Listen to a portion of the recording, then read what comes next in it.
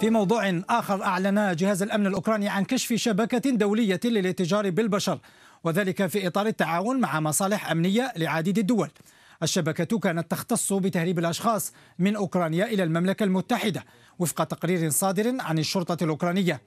وأكد التقرير أنه يتم استغلال هؤلاء للعمل بأجور منخفضة وفي ظروف عمل سيئة للغاية. جلب الأشخاص العمل القسري وفق تأكيد الأمن الأوكراني يتم عبورا بدول الاتحاد الأوروبي. هذا وألقى الأمن الأوكراني القبض على 11 شخصا مشتركا في هذه الجريمة وبحوزتهم أسلحة نارية ووثائق مزورة.